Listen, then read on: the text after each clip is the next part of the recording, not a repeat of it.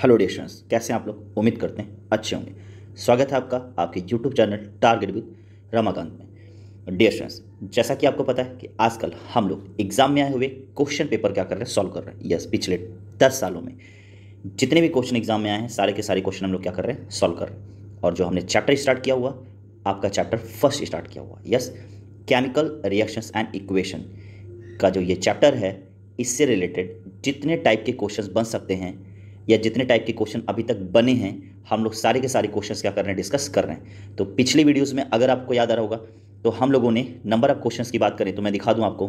तो ये क्वेश्चन हम लोगों ने सॉल्व किए हुए थे। यस है नो यह क्वेश्चन टोटल हम लोगों ने जो सॉल्व किया हुआ था सिक्सटीन क्वेश्चन सॉल्व किए हुए थे, अगर आप देख सकते हैं तो टोटल सिक्सटीन क्वेश्चन क्या किए थे, हम लोगों ने सॉल्व किए थे ओके और मैं उम्मीद करता हूँ कि आप लोगों ने ये वाली वीडियो क्या कर ली होगी, देख ली होगी। अगर नहीं देखिए तो प्लीज़ प्लेलिस्ट में जाइए, या डिस्क्रिप्शन में मैं लिंक दे दूँगा। डिस्क्रिप्शन में मैं लिंक दे दूँगा, आप वहाँ से जाकर के उसको देख लीजिएगा। ओके? क्वेश्चन पेपर सॉल्व करने से क्या होता है?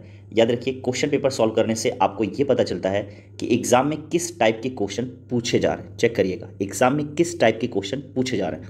यानी कि फिर आपको पढ़ने का एक तरीका पता चलता है।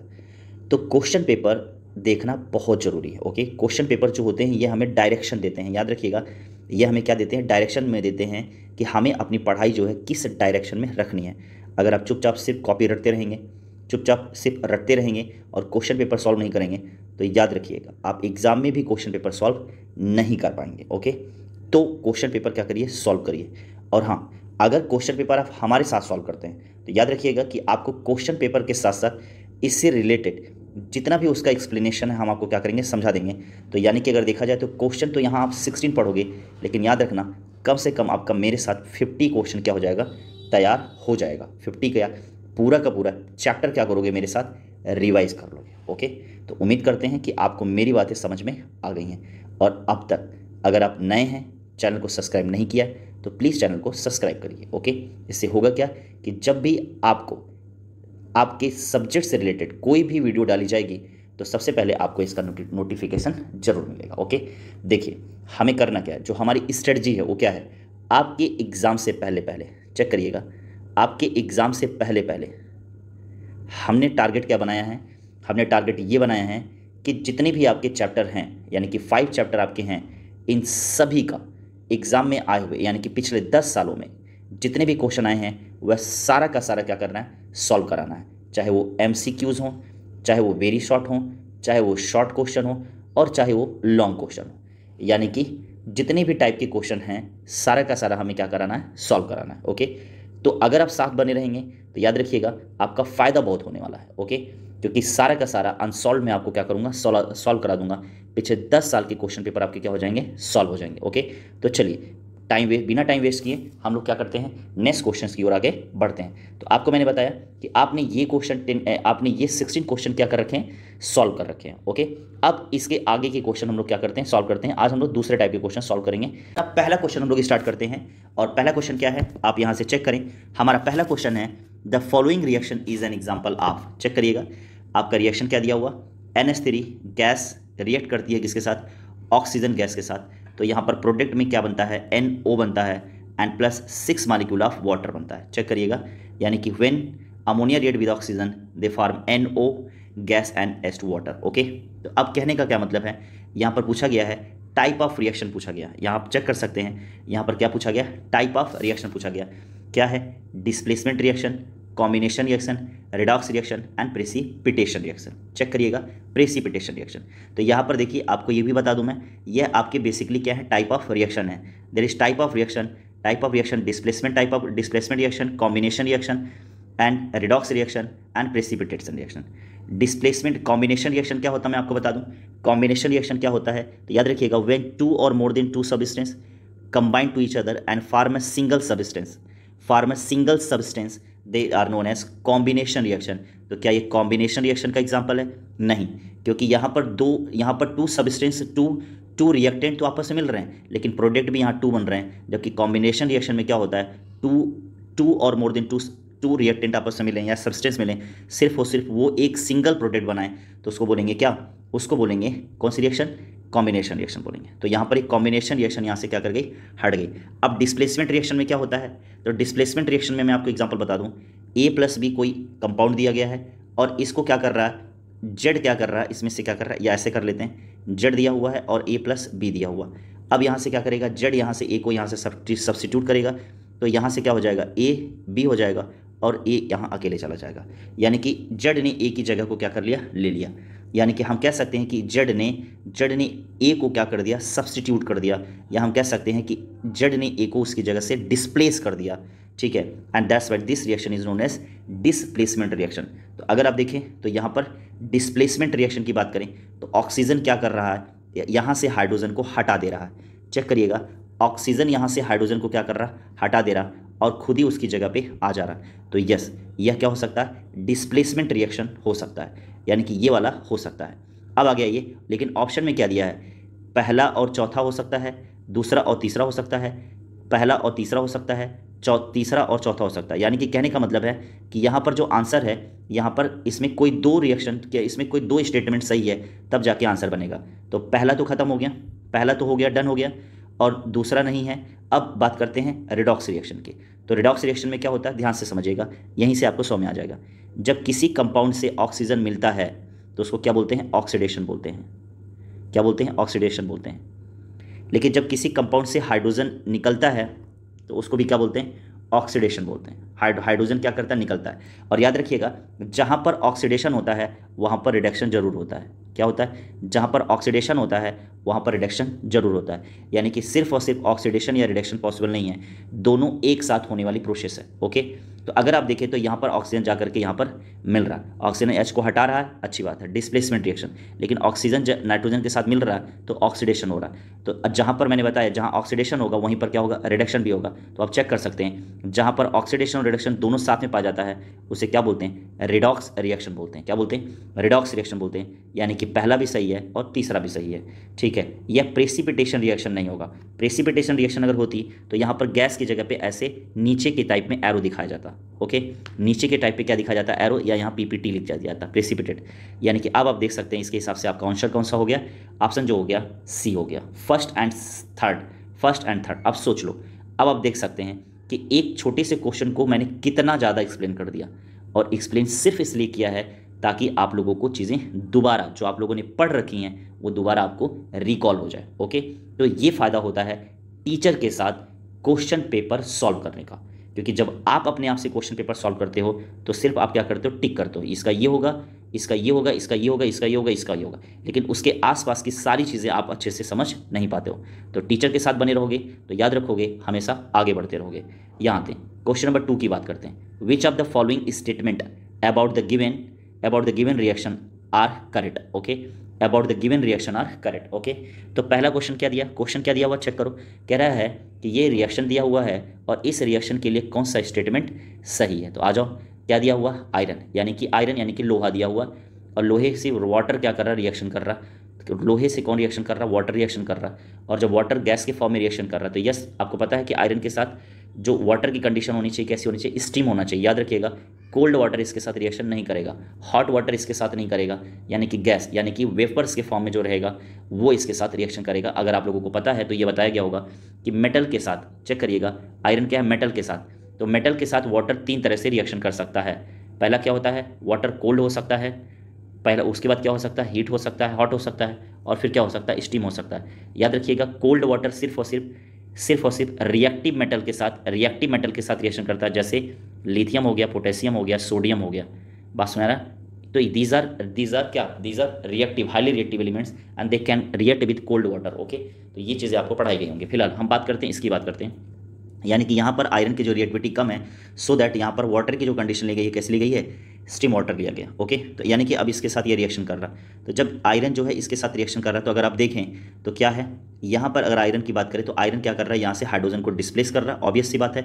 यहाँ से हाइड्रोजन गैस क्या कर रही है? निकल रही है, ठीक है? और खुद ही उसकी जगह पे आ जा रहा है। तो अगर अगर टाइप ऑफ़ रिएक्शन पूछा जाता तो याद रखिएगा टाइप ऑफ़ रिएक्शन कौन सी हो जाती? डिस्प्लेसमेंट रिएक्शन हो जाती। कौन सी हो जाती है? डिस्प्लेसमेंट लेकिन टाइप ऑफ़ रिएक्शन ना पूछ करके क्या पूछें, जरा देखते हैं हम लोग।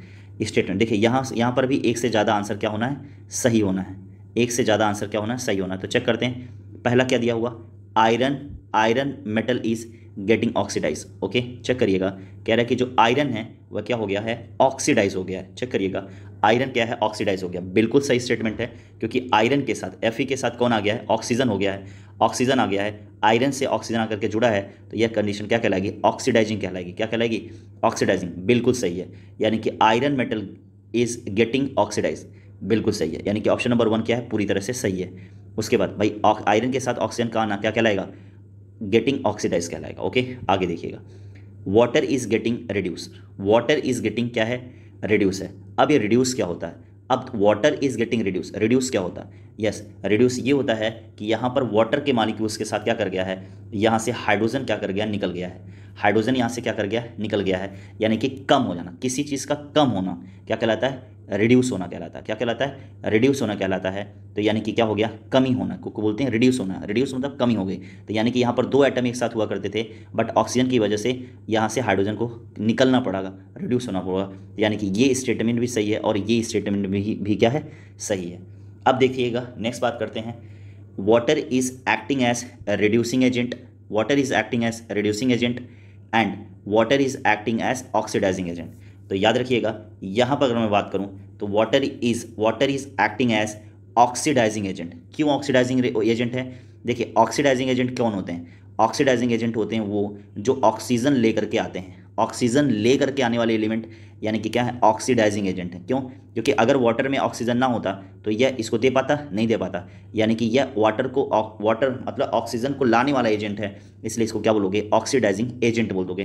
तो सोचो अब तुम्हारा, पहला हो गया, पहला हो गया, दूसरा हो गया, और तीसरा वाला, चौथा वाला आंसर हो गया। तो इस हिसाब से अगर देखा जाए, पहला, दूसरा, चौथा, पहला, दूसरा, चौथा सी वाला आंसर क्या हो जाएगा? करेक्ट हो जाएगा। सी वाला ऑप्शन क्या हो जाएगा? करेक्ट हो जाएगा। चलो, वापस आते हैं। नेक्स्ट क्वेश्चन की तरफ़ आगे बढ़ते हैं। नेक्स्ट क्वेश्चन क्या दिया हुआ?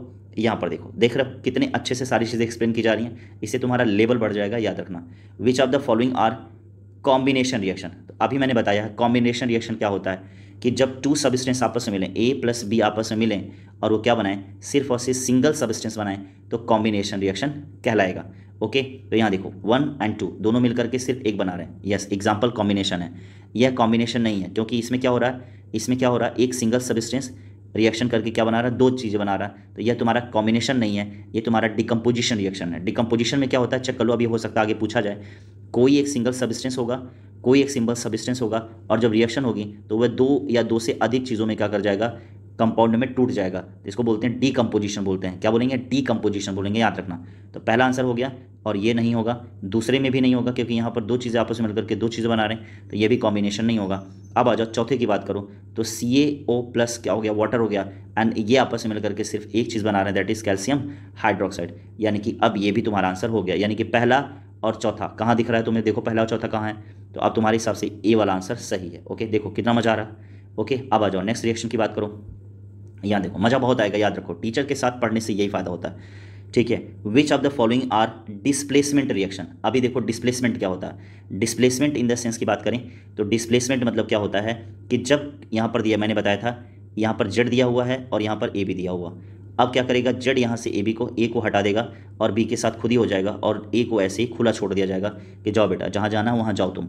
ओके तो यानी कि जेड ने ए की जगह को ले लिया, या हम कह सकते हैं कि जेड ने ए को डिस्प्लेस कर दिया। तो this is an example of displacement reaction okay तो चेक करते हैं कौन कौन सा डिस्प्लेसमेंट रिएक्शन का एग्ज़ाम्पल है। तो अगर आप देखें तो यहाँ पर ये रिएक्शन देखें, यहाँ पर क्या है? जेड सी यू को उसकी जगह से हटा रहा है। जेड एन एस फोर बना रहा है और सी यू अकेले हो जा रहा। है यह डिस्प्लेसमेंट रिएक्शन का एग्ज़ाम्पल है। यह डिस्प्लेसमेंट रिएक्शन का एग्ज़ाम्पल है। ओके अब आप तुम देख लो ये वाला। यहाँ पर दो सबस्टेंस आपस में मिल रहे हैं ए प्लस बी और एक सिंगल सबस्टेंस बना रहे हैं। तो क्या यह डिस्प्लेसमेंट रिएक्शन है? नहीं, यह कॉम्बिनेशन रिएक्शन है। तीसरा वाला क्या है? कॉम्बिनेशन रिएक्शन है। यस नो तीसरा वाला क्या है तुम्हारा? कॉम्बिनेशन रिएक्शन है। तो अगर तुम चेक करो तो ये तुम्हारा डिस्प्लेसमेंट हो गया। और यहाँ से कार्बन क्या कर रहा? है यहाँ से अगर देखो तो यहाँ से तुम कह सकते हो, क्वेश्चन नंबर फोर में तुम्हारा जो सही होगा कौन सा सही होगा? ये सही होगा, ठीक है? यहाँ पर अगर देखो तो यहाँ पर कार्बन क्या कर रहा है? यहाँ पर इसके साथ ऑक्सीजन इसके पास आ जा रहा है, पी को छोड़ दे रहा है। तो यहाँ पर भी कह सकते हैं, ओ का क्या हो गया? डिस्प्लेसमेंट, पी, यहाँ से सी का क्या हो गया? पीबी का क्या हो गया? डिस्प्लेसमेंट हो गया। यानी कि तुम्हारा एग्ज़ाम्पल कौन हो जाएगा? फ़र्स्ट और सेकंड तुम्हारा एग्ज़ाम्पल हो जाएगा। सोचो, आंसर कहाँ है? फ़र्स्ट और सेकंड आंसर कहाँ है? आप सोच कर सकते हो, B B will be the right answer, okay? अब आ जाओ नेक्स्ट बात करते हैं। क्या है? Lead nitrate on heating gives यानी कि लेड नाइट्रेट का फॉर्मूला क्या होता है? तो आपको पता है P B P B N O three का whole twice P B N O three का होल टॉइस ठीक है? ये तुम्हारा क्या है? लेड नाइट्रेट है। तो याद रखना, बताया जा रहा है कि जब lead nitrate as a compound को क्या किया जाता है? जलाया जाता है। ठीक है? तो जलाने पे क्या होता है? वह कलरलेस फ्लेम देता है, वह येलो प्रेसिपिटेट देता है, वह स्मेल ऑफ़ बर्निंग सल्फ़र देता है या ब्राउन फ्लेम देता है। तो याद रखना, ये क्वेश्चन बड़ा अच्छा है। याद रखना, ये क्वेश्चन बड़ा अच्छा है।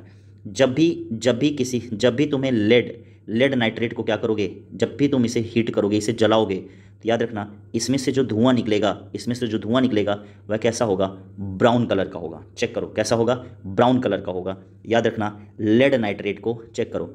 लेड नाइट्रेट मान लो एक कंपाउंड में एक एक तुमने टेस्ट ट्यूब में लेड नाइट्रेट लिया, और उसको तुम क्या कर रहे हो? हीटर रख रहे हो। तो यहाँ से जो धुआँ निकलेगा, याद रखना, यह धुआँ कैसा होगा? ब्राउन कलर का होगा। कैसा होगा? ब्राउन फ्ल्यूम होगा। ब्राउन फ्ल्यूम्स होगा, ठीक है? बात सुना नहीं आ रहा? तो अब इस हिसाब से आंसर कौन सा हो जाएगा तुम्हारा? डी वाला आंसर क्या हो जाएगा? सही हो जाएगा। अब आ जाओ, नेक्स्ट क्वेश्चन की बात करो। Which of the following pair देखो क्वेश्चन एग्ज़ाम में पूछा गया क्या है? Which of the following pair will give the displacement reaction कह रहा है कि कौन सा पेयर ऐसा है जो डिस्प्लेसमेंट रिएक्शन क्या करेगा? देगा। कौन सा रिएक्शन ऐसा है जो डिस्प्लेसमेंट रिएक्शन देगा? तो आ जाओ sodium chloride solution and copper metal solution ध्यान से देखो कॉपर मेटल लिया गया है और सोडियम क्लोराइड लिया गया है। तो अब तुम्हें इसके लिए क्या याद होनी चाहिए? ई e याद होना चाहिए। ई सी एस याद होना चाहिए। अब ये ई सी एस क्या है? तो E for electro C for chemistry ठीक है electro chemical C for chemical और एस फॉर सीरीज़ ईसीएस मतलब होता है इलेक्ट्रोकेमिकल सीरीज़ होता है। क्या याद होता है? इलेक्ट्रोकेमिकल सीरीज़ होता है। तो अब मैं तुम्हें बता दूँ, यहाँ कहा क्या जा रहा है? पहले वाले में कहा जा रहा है कि कॉपर रिएक्शन करता है किसके साथ? सीएल के साथ। फिर दूसरे में कहा जा रहा है कि एल्यूमिनियम रिएक्शन करता है किसके साथ? एम के साथ, ठीक है? और तीसरे में कहा जा रहा है कि जो सिल्वर है, वह रिएक्शन करता है एफ़ फोर के साथ। और चौथा क्वेश्चन कहा जा रहा है, चौथा क्वेश्चन क्या कहा जा रहा है कि जो कॉपर है, वह रिएक्शन करता है किसके साथ? ए के साथ रिएक्शन करता है, ठीक है? तो इसमें कहा जा रहा है कि कौन सा डिस्प्लेसमेंट रिएक्शन का एग्ज़ाम्पल है? कौन सा डिस्प्लेसमेंट रिएक्शन का एग्ज़ाम्पल है? तो यानी कि याद रखना, तुम लोगों को मैं बता दूँ यहाँ पर, ध्यान से समझो आप लोग। यहाँ देखिए आप लोग लोगों को याद होना चाहिए इसके लिए ई C S E C S क्या होता है?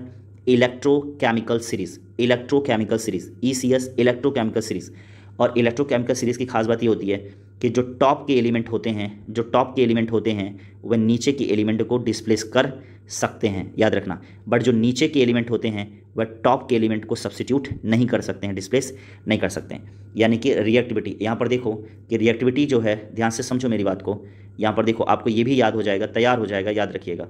यहाँ पर मैं बता दूँ आप लोगों को, समझा दूँ मैं आप लोगों को, मज़ा आएगा आप लोगों को। देखिए यहाँ पर, ध्यान से देखिएगा। कॉपर की जो रिएक्टिविटी है सीयू की जो रिएक्टिविटी है सोडियम से क्या है, कम है। यानी कि जो सोडियम है मोर रिएक्टिव देन क्या है सी है। और मैं बता दूँ, जो मैग्नीसी, जो एल्यूमिनियम है, उसकी रिएक्टिविटी एम से क्या है, कम है। और यहाँ पर मैं बता दूँ, जो ए है, उसकी रिएक्टिविटी एफ़ से क्या है, कम है। सोचो इन सब की रिएक्टिविटी क्या है? कम है। तो यह यह इस कंपाउंड से, यानी कि सी यू यहाँ से एन ए को नहीं हटा सकता। ए एल यहाँ से एम जी को नहीं हटा सकता। ए जी यहाँ से एफ़ ई को नहीं हटा सकता, क्योंकि यह क्या है? यह लेस रिएक्टिव एलिमेंट है, ठीक है? जो यहाँ पर इनको हटा नहीं सकते। बट हाँ जो सी यू है, जो सी यू है, वह ए जी से, जो सी यू है, वह ए जी से क्या है? मोर रिएक्टिव है। तो यानी कि सी यू अब क्या कर सकता है? यहाँ से हटा करके ए जी ओ एन ओ थ्री बना सकता है okay A G N O three बना सकता है और यहाँ अकेले आ सकता है। यानी कि अब याद रखो, यहाँ पर क्या हो जाएगा? Copper plus A G N O three जब आपस में रिएक्शन करते हैं तो यहाँ से क्या बन सकता है? C U A G C U N O three plus A G यानी कि अब यहाँ से देखो कॉपर ने ए जी को डिस्प्लेस कर दिया। So you can say that this is the example of displacement reaction okay अब आ जाओ नेक्स्ट क्वेश्चन की बात करते हैं, मज़ा आ रहा होगा। ठीक है, मज़ा आ रहा है तो अच्छे अच्छे कमेंट ज़रूर करिए कि आप लोगों को क्वेश्चन पेपर सॉल्व करने में मज़ा आ रहा है कि नहीं आ रहा है, ठीक है? ओके देखिए था। बर्निम ठीक है बोरियम क्लोराइड दिया हुआ, क्या दिया हुआ? बेरियम क्लोराइड दिया हुआ चेक करिएगा बेरियम क्लोराइड दिया हुआ तो बेरियम क्लोराइड यानी कि barium chloride on on reacting with ammonium ammonium sulphate form barium sulphate form barium sulphate and ammonium chloride ध्यान से देखो barium sulphate B E B E C L two reaction करता है किसके साथ? Ammonium sulphate N H four N H four का whole twice N H four का whole twice plus S O four के साथ रिएक्शन करता है, ठीक है? यानी कि barium chloride get react to ammonium sulphate ammonium sulphate and ammonium chloride ठीक है? और ये क्या बनाता है? तो अब आपको पता है कि ये माइनस हो जाएगा, ये प्लस हो जाएगा, ये माइनस हो जाएगा और ये प्लस हो जाएगा तो यहाँ क्या बनेगा? N H four C L बनेगा, इसको बैलेंस कर देंगे प्लस यहाँ बनेगा B E S O four बनेगा, ये क्वेश्चन आपका बनेगा। अब क्वेश्चन क्या है? Barium chloride on reacting with, barium chloride on reacting with ammonium ammonium, ठीक है, ammonium sulphate and form barium sulphate and ammonium chloride okay ammonium chloride. Which of the following which of the following correctly represent the type of type of the reaction involve तो अब आप तुम यहाँ से कह सकते हो, ध्यान से देखो। यहाँ से क्या हो रहा है? ध्यान से समझना। यहाँ से देखो। यह भी सॉल्ट है और यह भी सॉल्ट है।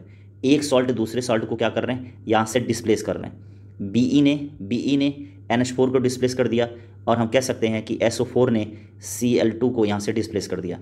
यानी कि इस तरह के डिस्प्लेसमेंट को क्या बोलते हैं? डबल डिस्प्लेसमेंट बोलते हैं। क्या बोलते हैं? डबल डिस्प्लेसमेंट बोलते हैं, याद रखना। तो कौन सा रिएक्शन है? डबल डिस्प्लेसमेंट हो जाएगा। लेकिन अभी देखो, यहाँ पर ऑप्शन जो है, दो ऑप्शन दिया हुआ। तो चौथा ऑप्शन तो तुम्हें मिल गया। चौथा ऑप्शन मिल गया। चौथा ऑप्शन मिल गया है। अब उसके बाद देखते हैं कौन सा ऑप्शन और सही होगा। और याद रखना, यहाँ पर क्या बनेगा? प्रेसिपिटेट भी बनेगा। तो इसको तुम लोग क्या बोल सकते हो? प्रेसिपिटेशन रिएक्शन भी बोल सकते हो। इस हिसाब से जो आंसर सही होगा, कौन सा सही होगा?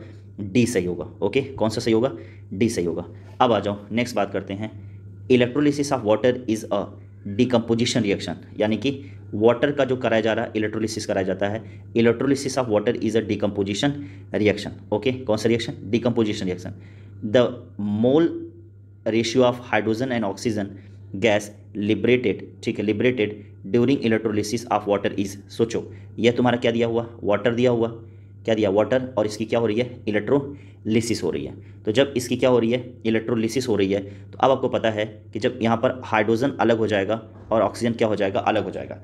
तो हाइड्रोजन यहाँ पर कितने हैं? दो हैं तो इसका टू मोल और ऑक्सीजन यहाँ वन है तो कितने मोल वन मोल ऑक्सीजन एक है तो वन मोल और हाइड्रोजन दो है तो दो mole and what will be the correct ratio तो आपको पता है कौन सा हो जाएगा?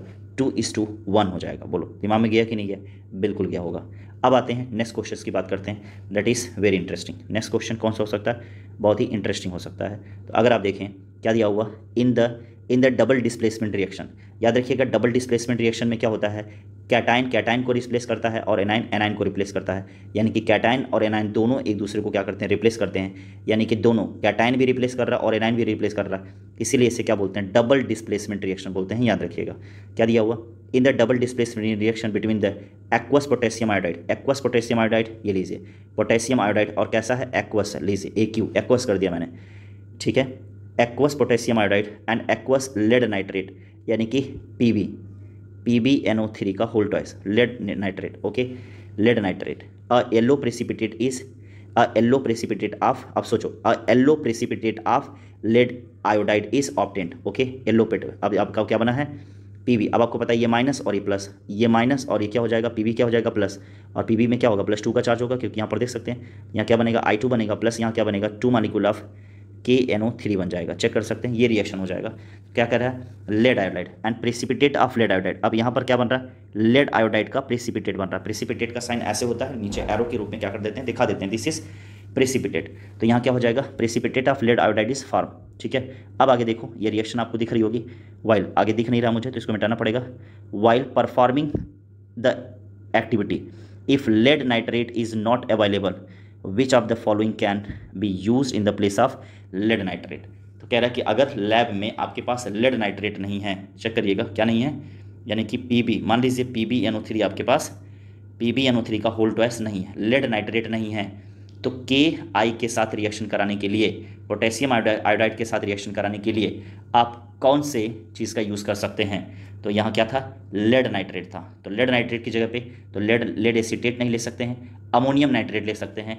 यानी कि अगर आप देखें तो K I plus ammonium ammonium nitrate तो एन एच फोर का क्या ले सकते हैं? एनओ थ्री ले सकते हैं। तो फिर से देखिए यहाँ पर क्या बन जाएगा? फिर से आपका वहीं बन जाएगा क्या? अमोनियम आयोडाइड बन जाएगा। और प्लस यहाँ क्या बन जाएगा?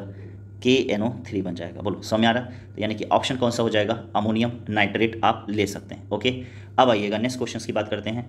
Aqua solution of barium chloride barium chloride का formula B E C L two and और कैसा है? एक्वा सोल्यूशन है तो यानी कि ए क्यू किसके साथ रिएक्शन करता है? सोडियम सल्फेट के साथ। तो आपको पता है N A two S O four के साथ यह रिएक्शन करता है। ऑन मिक्सिंग टुगेदर जब दोनों को मिक्स मिक्स किया जाता है फार्म फार्म में प्रेसिपिटेट ऑफ़ बेरियम सल्फेट तो अब ऑब्वियस सी बात है, ये माइनस तो ये प्लस और ये माइनस तो ये प्लस तो आपको पता ही है, यहाँ पर क्या बनेगा? B E S O four बनेगा और plus N A got with C L plus क्या बनेगा? Two N A C L बनेगा ओके क्या बनेगा? Two N A C L बनेगा। तो अब आपने क्या बोल दिया? बेरियम सल्फेट कह रहे कि which of the following can be use in the place of sodium sulphate तो सोडियम सल्फेट की जगह पे कह रहा है, इस रिएक्शन को, जैसे आपने बेरियम क्लोराइड से रिएक्शन कराया है तो सोडियम सल्फेट से ना करा करके और किससे आप रिएक्शन करा सकते हैं? तो वेरी सिंपल यहाँ पर क्या कर सकते हैं? अब इससे ज़्यादा आसान क्या हो सकता है? तो अगर आप देखें तो सोडियम सल्फेट अगर आपको नहीं मिल रहा है, अगर लैब में सोडियम सल्फेट नहीं मिल रहा तो ऑब्वियस सी बात है, इसकी जगह पे आप क्या ले सकते हो? पोटेशियम सल्फेट ले सकते हो। बिल्कुल ले सकते हो। एल्यूमिनियम सल्फेट ले सकते हो। A L two S O four का होल थ्राइस एल्यूमिनियम सल्फेट ले सकते हो। Dilute H two S O four भी ले सकते हो। यानी कि यहाँ पर जो आपका आंसर हो जाएगा, क्या हो जाएगा? आल हो जाएगा। क्या हो जाएगा? आल हो जाएगा। दिमाग में जा रहा है आप लोगों को? चलिए, अगला क्वेश्चन करते हैं। Which of the following on heating give two colourless gas okay कह रहा है कि कौन ऐसा है जिसको हीट करोगे तो कलरलेस गैस देगा। Heating give two colourless gas okay जब उसे हीट किया जाता है तो कौन सा कलरलेस गैस देता है? तो याद करना, अभी तो लेड नाइट्रेट वाला फार्मूला आपको मैंने बताया है P B N O three मैंने बताया है कि जब इसे हीट किया जाता है P B N O three को चेक करो। P B P B N O three को अगर हीट किया जाएगा आपको पता है, यह क्या देता है? ब्राउन कलर देता है। कैसा कलर देता है? ब्राउन कलर देता है। याद रखिएगा, कैल्शियम कार्बोनेट भी क्या होता है? कलर्ड होता है। लेड नाइट्रेट देखिए, फिर से हो गया, और कैल्शियम कार्बोनेट ये क्या हो गया? दोनों दिया हुआ, यह क्या है? यह भी क्या है? कलर देते हैं। याद रखना, इसका आंसर कौन सा हो जाएगा? ऑन हीटिंग की कलरलेस कलरलेस गैस कौन सा देगा? तो याद रखना फेरस सल्फेट क्या होता है? कलरलेस गैस देता है। क्या देता है? ये थोड़ा तुम्हें याद करने वाली है। ठीक है फेरस सल्फेट क्या देगा? कलरलेस सोल्यूशन या कलरलेस फ्लेम देगा। ओके याद रखना कलरलेस गैस देगा। अब आ जाओ क्वेश्चन नंबर ट्वेल्व की बात करते हैं। When fats when fats and oil gets ठीक है रेंसिड रेंसिड ओके फैट्स और ऑयल क्या होते हैं? इनकी रेंसिडिटी आपने पढ़ा? क्या पढ़ा? रेंसिडिटी पढ़ा है। ठीक है रेंस्ड कह रहे कि which of the following statement is false कौन सा स्टेटमेंट फॉल्स है? कह रहे कि जब फैट और ऑयल यानी कि जो हमारा खाना है फैट और ऑयल जिसमें यूज़ हुआ है, ठीक है, जब उसमें रेंसिडिटी हो जाती है, यानी कि रेंसिडिटी इन द सेंस खाने का खराब होना तो क्या हो जाएगा? Food become unfit for eating यानी कि जो खाना है, वह क्या हो जाएगा?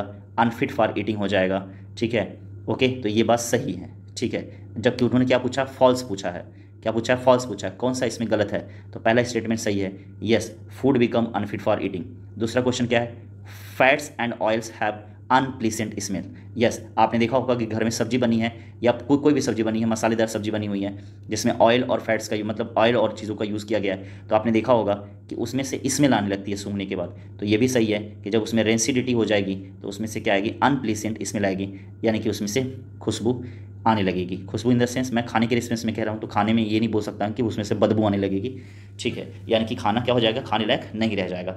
उसके बाद बात करते हैं तीसरा क्वेश्चन क्या है? तीसरा पॉइंट क्या है? Fats and oil have the unpleasant taste अब ऑब्वियस सी बात है, खाना खराब हो जाएगा तो उसमें अनप्लीसेंट टेस्ट भी हो जाएगा। यानी कि अब देखो आपका, ये भी सही है, ये भी सही है, ये भी सही है। उन्होंने पूछा क्या गलत है? तो अब आप देखो only fats and oils get oxidise therefore they can be eaten and and they have they have pleasant smell देखो, कह रहा है कि प्लीजेंट स्मेल मतलब वो बहुत ज़्यादा खुशबू वाला मतलब प्लीजेंट स्मेल मतलब होता है अच्छी खुशबू। यानी कि जब खाना खराब हो जाएगा तो उसमें अच्छी खुशबू आएगी। सोचो कितनी बड़ी गद्दारी की बात कर रहा है ओके यानी कि कभी खा ना लेना तुम लोग खाना। तो यहाँ पर क्या हो जाएगा? डी वाला क्वेश्चन क्या हो जाएगा? गलत हो जाएगा। अब आ गई बात समझ डी वाला क्वेश्चन क्या हो जाएगा? गलत हो जाएगा। अब आ जाओ क्वेश्चन नंबर थर्टीन पे आ जाओगे। ठीक है false statement regarding the corrosion अब आपको पता है कोरोजन क्या होता है? तो याद रखिएगा, ये मेटल पे मेटल को ख़राब करने की प्रोसेस है। यानी कि मेटल को धीरे धीरे ख़राब करने की प्रोसेस क्या कहलाती है? कोरोजन कहलाती है। गेट समझ में आ गया? यानी कि मेटल को ख़राब करने की प्रोसेस क्या कहलाएगी? कोरोजन कहलाएगी। तो अब अगर आप देखें तो कह रहा है कि फॉल्स स्टेटमेंट देखो, थोड़ा सा घुमा दे रहा क्वेश्चन को। False statement regarding to corrosion ये नहीं पूछ रहा, सही स्टेटमेंट नहीं पूछ रहा, कह रहा है कि चार स्टेटमेंट मैं दे रहा हूँ, आप बताओ इसमें से कोरोजन के बारे में कौन सा गलत है? तो yes metal get decayed yes corrosion की वजह से मेटल क्या होते हैं? डिकेड यानी कि खराब होने शुरू हो जाते हैं। बिल्कुल सही स्टेटमेंट है। उसके बाद कोरोजन ऑफ़ द कोरोजन की बात कर रहे हैं। Corrosion of of iron is called the rusting बिल्कुल, जब आयरन पे क्रोजन यानी कि आयरन पे कोरोजन मतलब होता है जंग लगना। क्या होता है? जंग लगना। और जब आयरन पे जंग लगता है तो उसको क्या बोलते हैं? रस्टिंग बोलते हैं। यानी कि यह भी क्वेश्चन क्या है? सही है।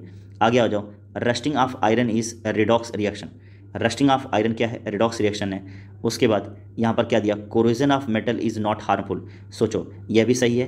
ठीक है rusting of iron is a redox reaction आपको पता है कि जहाँ पर रस्टिंग होती है, वहाँ पर ऑक्सीडेशन एंड रिडक्शन दोनों होता है, और जहाँ पर ऑक्सीडेशन और रिडक्शन दोनों होता है तो उसको हम क्या बोलते हैं? रिडॉक्स रिएक्शन बोलते हैं। यानी कि यह भी सही है भी सही, और यह भी सही, और कह रहा है कि corrosion of metal is not harmful सोचो, कह रहा है कि corrosion of metal is not harmful यानी कि कह रहा है कि जब क्रोजन की वजह से तुम्हें पता है कि जो मेटल होती हैं, चीज़ें क्या होते हैं? खराब होने लगती हैं, और धीरे धीरे वो नष्ट होने लगती हैं। तो कह रहा है कि क्रोजन की वजह से मेटल जो होते हैं, उसमें कोई हानि नहीं पहुँची है। गलत जवाब। बिल्कुल क्या है? गलत जवाब है, आप सोच सकते हैं। तो यानी कि ये ये क्वेश्चन क्या है? गलत कह रहा। सोचो सोचो। अगर हल्का फुल्का पढ़ के जाओगे तो क्वेश्चन तुम लोग कर नहीं पाओगे।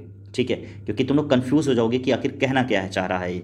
लेकिन जब क्वेश्चन पढ़ रहे हो तो अब आप लोगों को समझ में आ रहा है कि मज़ा आ रहा है कि नहीं आ रहा। आगे बात समय ठीक है? तो अब क्वेश्चन हम लोगों ने कितने सॉल्व कर लिए हैं? क्वेश्चन आई थिंक हम लोगों ने सॉल्व किए हैं। थर्टीन क्वेश्चन हम लोगों ने क्या कर लिए हैं? सॉल्व कर लिए ओके थर्टीन क्वेश्चन हम लोगों ने क्या कर लिए सॉल्व कर लिए बाकी जो रिमेनिंग के क्वेश्चन हम लोग क्या करेंगे? नेक्स्ट वीडियो में क्या करेंगे? सॉल्व करेंगे। क्योंकि वीडियो लंबी हो जाएगी तो फिर आप क्या करोगे? आपको देखने में दिक्कत होगी ओके दिक्कत क्या होगी? मतलब एक सिटिंग में बैठ करके अगर आप चाहें तो कितनी दो दो घंटे की वीडियोज़ देख सकते हैं, लेकिन अब इतना ज़्यादा आपके अंदर पढ़ने की इफिशियंसी कहाँ पर है ओके तो अभी क्या करते हैं? ये चीज़ें मैंने करा दी हैं। अब आप लोगों ने देख लिया होगा कि आपने सिर्फ़ थर्टीन क्वेश्चन तो किए हैं, लेकिन लगातार आपको मैंने कितनी बातें बता डाली हैं। सोचो धीरे धीरे आपका चैप्टर क्या हो गया? तैयार हो गया। धीरे धीरे आपका चैप्टर क्या हो गया? तैयार हो गया। और आपने क्वेश्चन भी चेक कर लिया। आपने एग्ज़ाम में क्वेश्चंस किस तरह से पूछे जा सकते हैं, वो भी देख लिया और आपका चैप्टर भी रिवाइज हो गया। ओके तो ये होता है टीचर के साथ क्वेश्चन पेपर सॉल्व करने का तरीका। ओके इससे क्या होता है कि आपका जो नॉलेज है क्या कर जाता है इंक्रीज कर जाता है। ओके तो चलिए, मिलते हैं नेक्स्ट वीडियो में। अच्छा जाने से पहले अगर आपने चैनल को अब तक सब्सक्राइब नहीं किया तो प्लीज़ इसे सब्सक्राइब कर दें, ओके? क्यों? क्योंकि इसी तरह से मैं अच्छे अच्छे क्वेश्चन कराता रहूँगा और पूरा का पूरा, जो फाइव चैप्टर आपका है विद क्वेश्चन पेपर में सारा का सारा सॉल्व करा दूँगा। बस तुम एग्ज़ाम चले जाना देने के लिए आपके पूरे के पूरे मार्क्स आ जाएँगे, ओके? अच्छा एक चीज़ और, इतनी सारी चीज़ें देखने के बाद अगर अब तक चैनल को लाइक नहीं किया है तो क्यों नहीं किया है? ये अपने आप से पूछो, इतने आप से पूछो कि तुमने चैनल को लाइक मतलब वीडियो को लाइक क्यों नहीं किया है? तो नहीं किया तो अभी कर दो, ओके? चलो, मिलते हैं नेक्स्ट क्लास में। तब तक के लिए पढ़ते रहो और बढ़ते रहो। Thank you so much watching this video